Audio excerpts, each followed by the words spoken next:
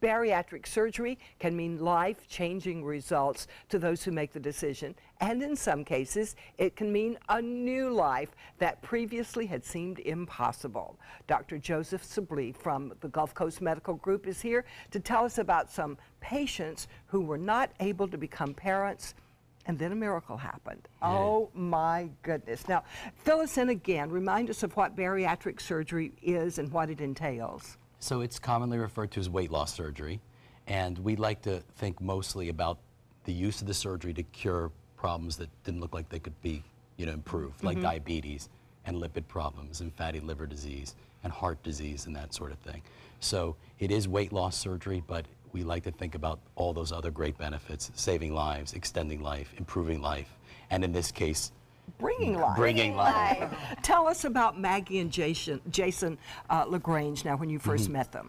Yeah, they're both wonderful people. You'll get to know them. But um, uh, they both had surgery with us. Uh, Maggie actually went first, as the woman's usually the more brave of the two. so Maggie went first, and she had surgery in 2015, and she had a gastric bypass surgery, and has been amazingly successful.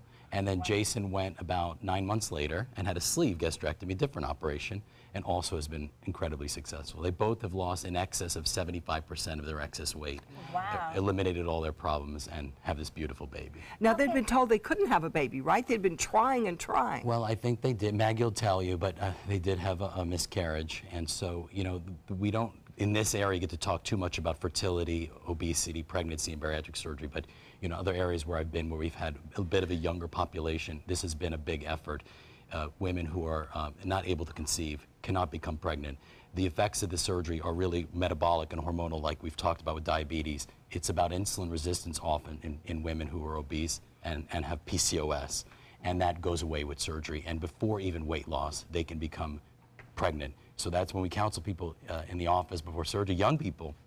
We have to remind them they have to take precautions because they don't think there's a chance they can get pregnant. And often we tell them they could get pregnant the day after surgery. Oh, my that's, that's goodness. How, that's how the insulin, you know, the improvement of the insulin resistance Wow. works. And that's what drives the infertility. Well, let's meet them. Come on out, Maggie, Jason LaGrange, and you've got to come introduce us to your new daughter. Oh, she is adorable. Who is this young lady? This is Amelia, Amelia. How old is Amelia? two and a half months. Two and a half oh, months. Congratulations. Oh, she is beautiful. Now, tell me your story. You had been trying to have a baby for a while. Yeah, we had a miscarriage back in May of 2012, and we tried fertility drugs, but it didn't work. And then we ended up, I ended up having the bypass surgery. He ended up having the sleeve, and September after he had the sleeve, I found out I was pregnant. Did Oh. you did you anticipate this, or were you going into the, the surgery for other purposes? Other purposes. I have an eight-year-old son from a previous relationship, and I wanted to make sure that I could always be around for mm-hmm. him. My dad died when I was seven of a heart attack. Oh. Five, sorry. Five. He was 37, so Oh. I was really worried that my son would grow up without a mom.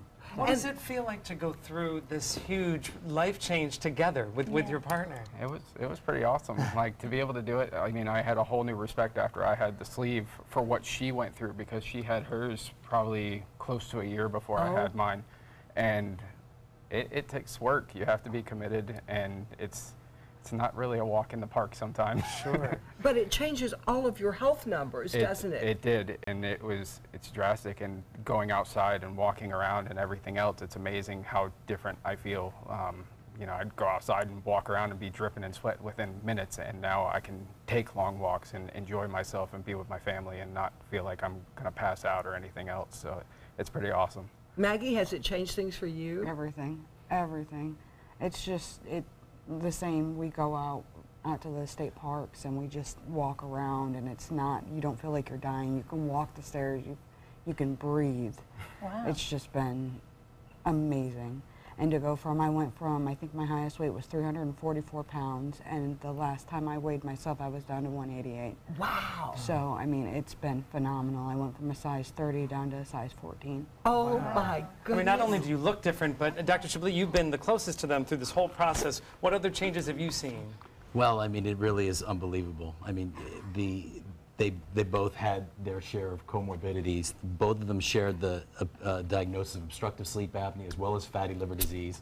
And, and, and those are things that we're not going to be concerned about anymore. Maggie was a newly diagnosed type 2 diabetic. She went into remission in the hospital at the time of surgery. And so, you know, we know that it's not just disease improvement and remission, it's extension of life, improvement in, in, in potential mortality. And, you know, in terms of society, in terms of what we do, it's uh, cost, we say now cost dominant, not just cost savings for the healthcare system.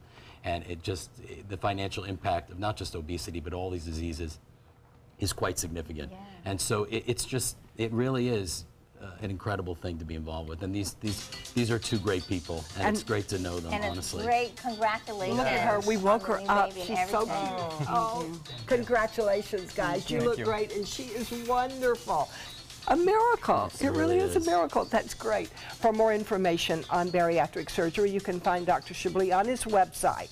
So be sure and look him up. What a beautiful little girl. Thank you, guys. Thank Later you. in the show, we will have some beach items for the whole family.